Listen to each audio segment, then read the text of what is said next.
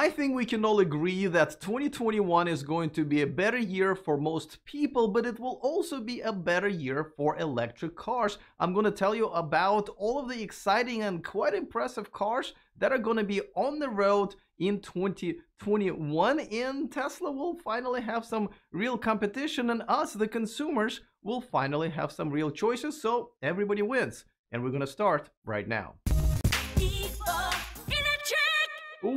Welcome to E4 Electric, your number one source of electric car scoop. If you are interested in everything that's going on in the world of electric cars, go ahead and click on that subscribe button and the bell notification icon so you don't miss anything moving forward.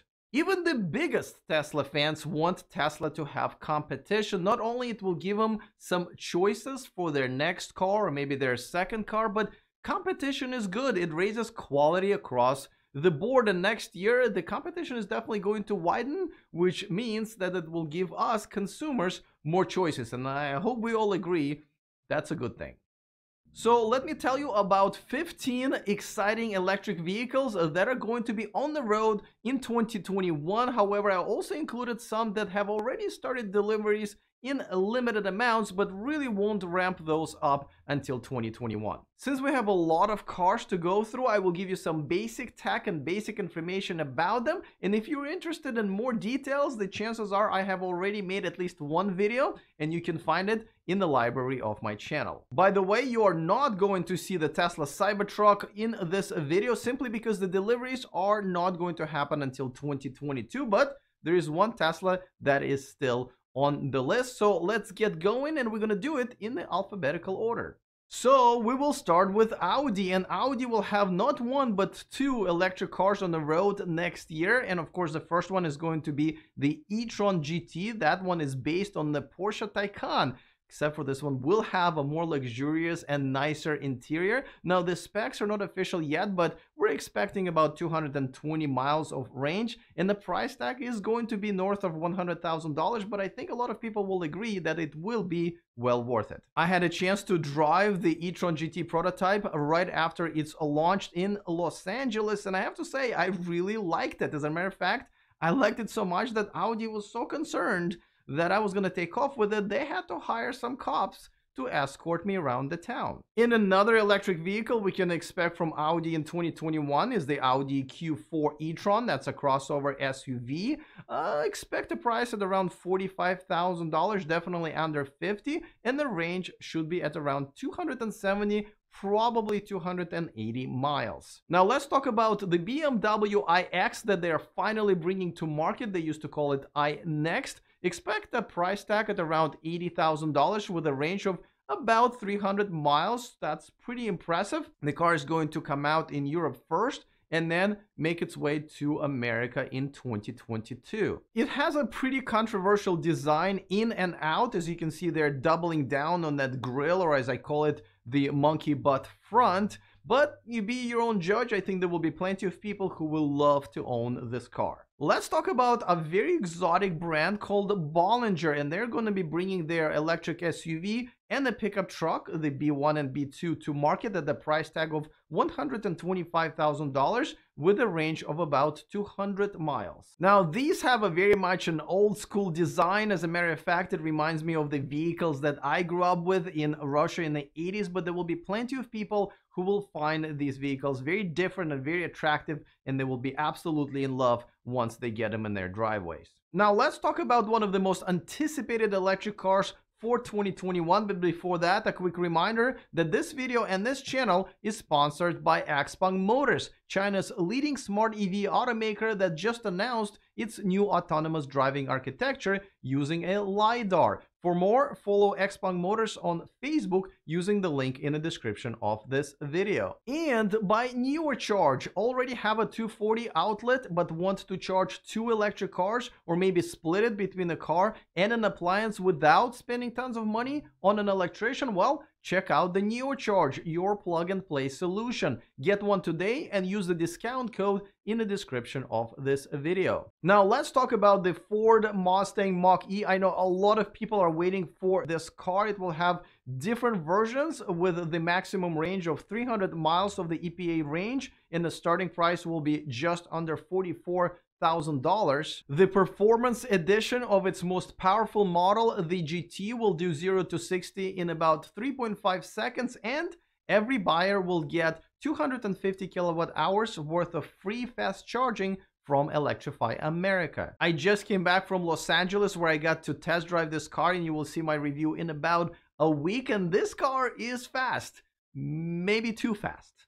Now let's talk about the all-electric Hummer from General Motors. It will be on the roads by the end of the year with its most expensive version. It will be priced at 112 $1,595 and it will have a range of about 350 miles. I have recently got to check out the Hummer EV myself in person and I have to say, it's pretty impressive, especially their user interface and I think people who will get them will be very, very happy. Now, over the next three years, GM will produce cheaper versions of the electric Hummer with the cheapest one at just under $80,000 in the spring of 2024. From one of the most expensive EVs of the year to the cheapest EV of the year, of course, I'm talking about a new brand called Kandi America and their K27 model priced at just under $17,500. That's before the federal tax incentive. After the tax incentive, it will be under $10,000. It will have a limited range of 59 miles, though it could be good enough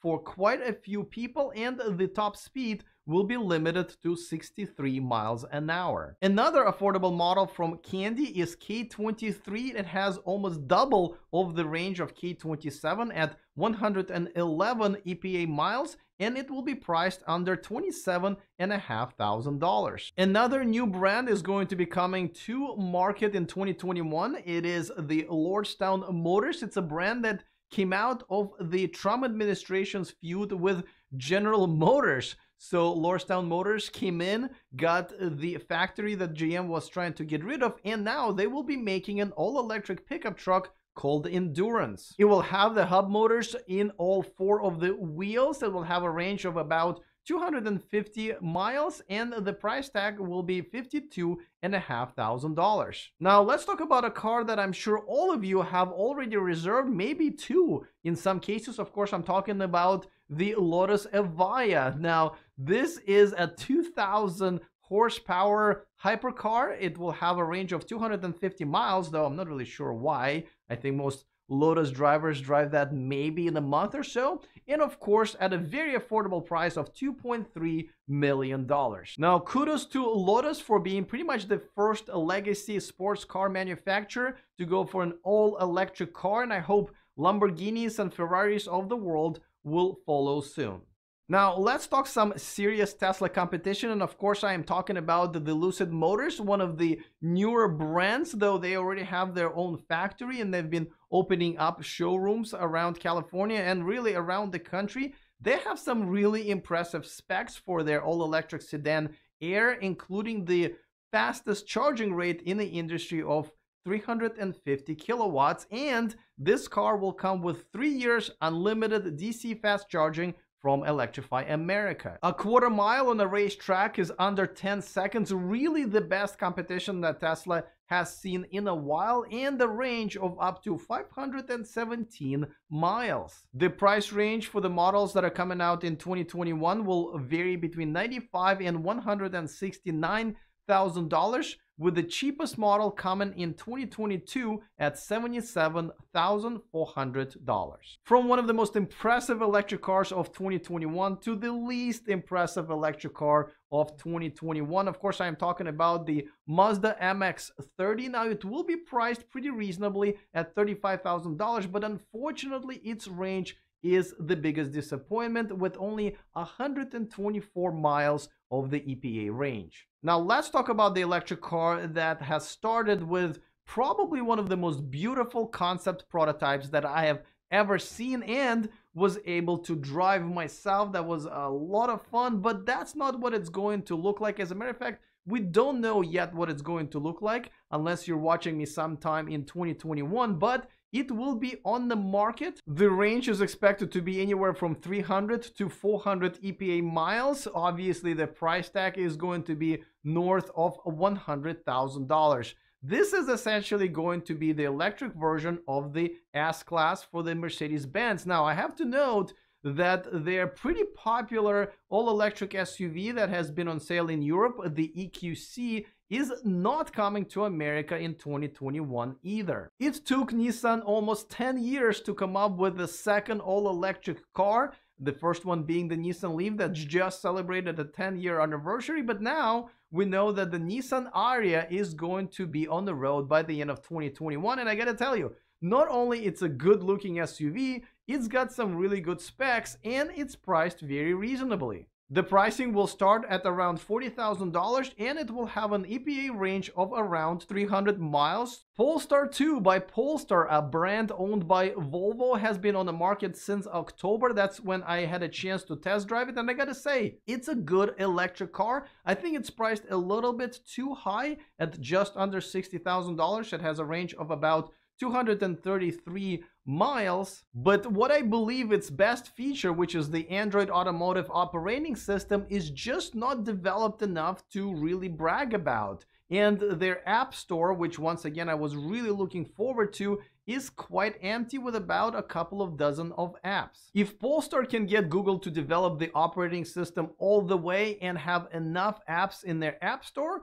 then I think it will definitely be worth the price and something that a lot of people will specifically buy this car for. Rivian has been the brand that had the most hype in the last couple of years. Lots of interest from really big investors like Ford and Amazon, and of course, a lot of interest from the consumers. Everybody just cannot wait to see these trucks on the road. Of course, it's going to be the R1T, the electric pickup truck that will start at about $75,000 and the R1S, the SUV, priced at $77,500. Both will have a 300 mile range in 2021, but in 2022, they will have other models, including lower priced models and the models with the 400 mile range. Now let's talk about Tesla and technically they won't have a new model per se in 2021 but I am making an exception for the Tesla Model S Plaid mode. It will start at $140,000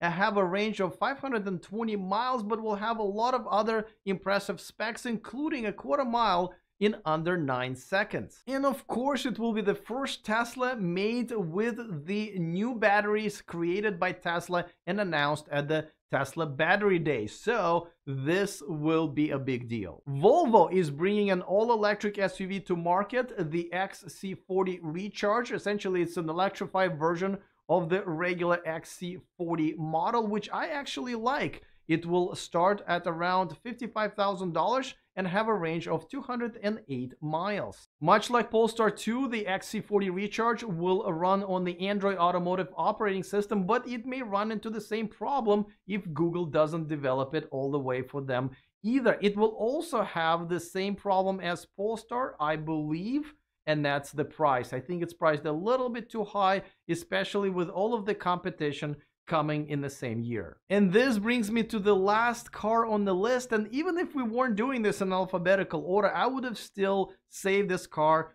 for last because I believe this is going to be the most successful new electric car on the market in 2021. I'm talking about the ID4 from Volkswagen. I believe this is going to be the best electric car for the value. It will start under $40,000, though it will have different versions throughout the year that will be coming out, including the dual motor. But when the factory in the United States opens in 2022, the starting price will fall to $35,000. I was able to test drive this car a couple of weeks ago and I gotta say it has one of the most impressive user interfaces that I have seen in a while. Even gesture controls, some basic swipe left and right gesture controls. It has some touch and slide controls all over the car. It's a very good looking SUV, at least that's what I think. It's got decent performance and very good range, especially for the money you're paying for it. And you get three years of unlimited DC fast charging from Electrify America. So as you can see,